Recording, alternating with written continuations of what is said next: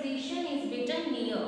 Near का means क्या होता है? In the sense of के पास मतलब जब चीज़ें हमारे within a short distance के अंदर होती हैं then we will use the preposition near. जैसे, the dog is near the book.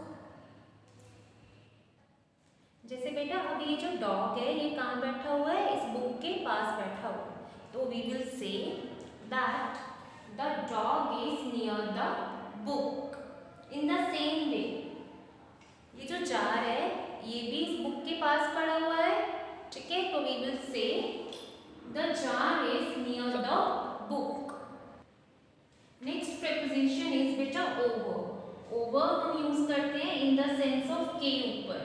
जब कोई चीज़ हमारे ऊपर होती है, जैसे कि जो फ़ैन है फ़ैन कहाँ पे मेरे सिर के ऊपर है, मेरे ऊपर है।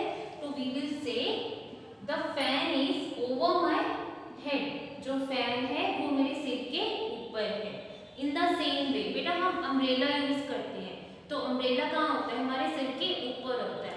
तो we will say the umbrella is over my head ठीक है? इन द सेम वे जो एरोप्लेन होता है, जब वो आकाश में स्काई में फ्लाई करता है तो वहाँ पे जो सी प्रपोजिशन यूज़ होती है, वो क्या है? ओवर हम बोलते हैं the aeroplane is flying over my house fine next use बेटा ओवर का कैसे होता है? ढकने के लिए. मीन्स चीज़ों को जब हम ढकना चाहते हैं then we will use the preposition over कैसे?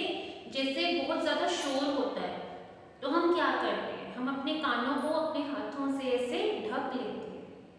Then we will say I put my hands over my ears जैसे अभी अभी मैंने क्या किया, अपने हैंड्स को अपने ईयर्स के ऊपर रखा, अपने कानों के ऊपर रखा। तो मैंने preposition over use I put my hands over my ears. That means she's.